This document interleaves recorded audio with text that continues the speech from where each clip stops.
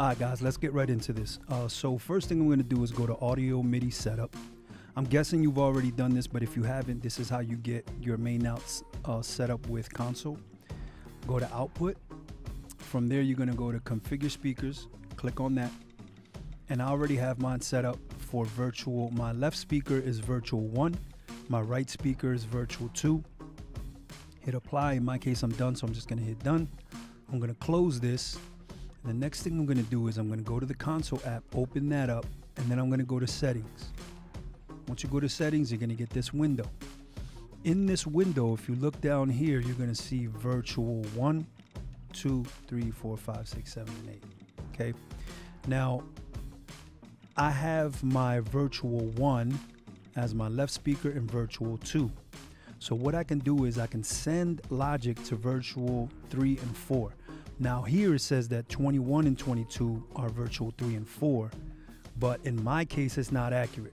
And I had to do some trial and error, but I got it. Okay, so now with this in mind, let's go back to Logic. Go to Mix right here. Click on that. Then you're gonna go down to where it says IO assignments. Click on IO assignments. Okay, now you're gonna see that stereo output is at 23 and 24. Now, if you click on this, you'll see the different outputs. Okay, now 19 and 20 is supposed to be virtual 1. 21, 22, two, I mean, this is supposed to be virtual 1 and 2. This is supposed to be 3 and 4. In my case, for some weird reason, 23 and 24 is virtual 3 and 4. So 23 and 24, right? That's what I'm doing there. You may have to do some trial and error. Close this window. Now, if I hit, if I open up the console app and I hit play, I'm gonna click right here where it says Logic. And I'm gonna unlink this. Now you'll see Virtual 4, so obviously this is Virtual 3.